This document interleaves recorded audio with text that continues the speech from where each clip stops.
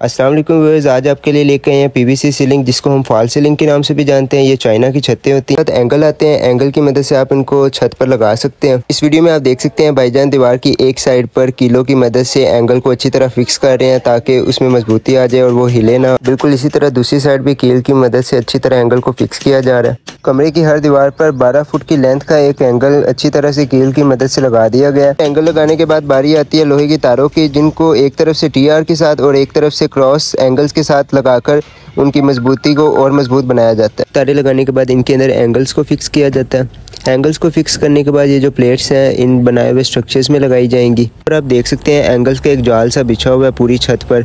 हर तरफ़ बराबर लेंथ कटी हुई है। बराबर लेंथ भाई काट रहे हैं, इंची टेप की मदद से। छत पर क्रॉस एंगल लग जाए तो उसके बाद इनकी एक प्रॉपर लेंथ मेजर की जाती है, जिसकी length two foot by two foot होती है। पीवीसी टाइल्स भी मार्केट में टू बाय टू की अवेलेबल होती हैं। स्केर खाने बनाने के बाद इनमें बारी आती है प्लेट्स लगाने की। प्लेट्स लगाने का मंजर आप इंजॉय कीजिए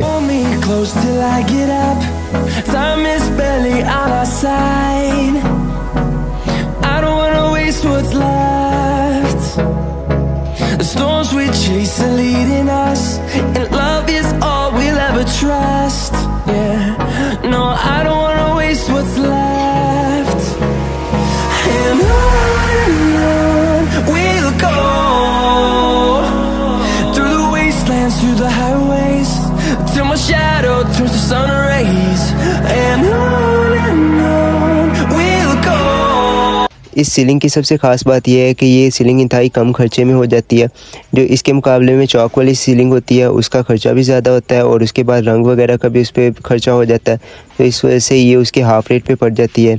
आप एक कमरे को तकरीबन 10 से पंद्रह हज़ार के अंदर तैयार करवा सकते हैं और इंतहाई खूबसूरत और लग्जरी किस्म का आपको नज़ारा देखने को मिल सकता है अपने कमरे में।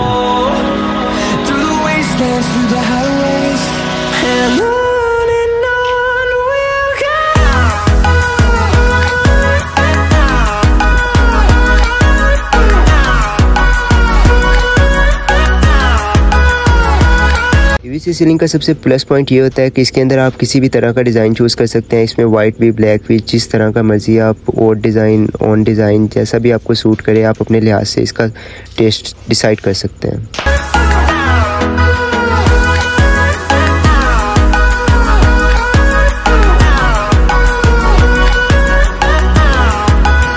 अगर रोज़मर्रा ज़िंदगी में देखा जाए तो इस सीलिंग का इस्तेमाल ऑफ़िस एरिया में बैंक एरिया में और ड्राइंग रूम्स वगैरह में ज़्यादातर होता है। ये एक एलिगेंट और सुपर लुक देती है।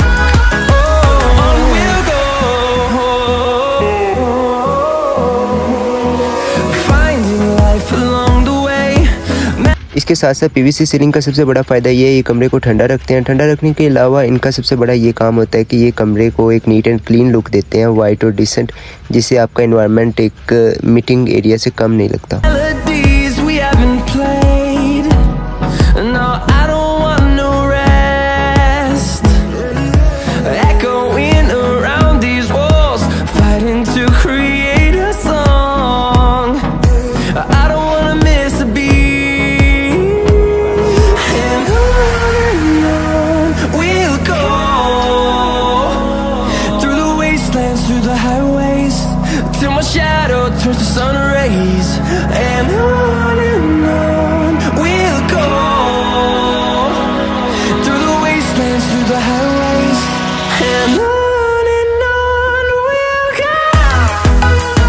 जैसे कि आपने वीडियो में देखा, हर एक पीवीसी प्लेट को उसके दिए गए खाने में मुंतकिल किया गया। हर पीवीसी प्लेट के लिए दो बाय दो फुट की जगह छोड़ी गई, लेकिन जो प्लेट्स इन दो बाय दो फुट की जगह में पूरी आ गई थी, वो तो लग गई थी, लेकिन जो नहीं आ रही थी लाइक जो कॉर्नर्स की लेंथ होती है, वहाँ पर आपको प्लेट काटनी पड़ती है। तो भाईजान यहाँ पर उस हिसाब से मेज़रमेंट करके प्लेट को काट रहे हैं। प्लेट्स को पेपर कटर से काटा जाता है, क्योंकि इनको काटना नहायत आसान होता है। आपको एक कट ऊपर लगाना पड़ता है और इसको जैसे ही आप फोल्ड करेंगे तो ये कट जाएँगी। प्लेट्स को दी गई लेंथ में काटा जाता है और अब इसी लेंथ को उसी ब्लॉक में फिट किया जाता है जो इसकी लेंथ के लिए बिल्कुल भरपूर बना है। जैसे कि आप देख सकते हैं, इसमें साइड्स को कट किया गया और प्लेट बिल्कुल पूरी तरह एडजस्ट हो गई है यहाँ पर। यहाँ पर था जी गैलरी का काम और गैलरी में भी सेम सीलिंग करवानी थी।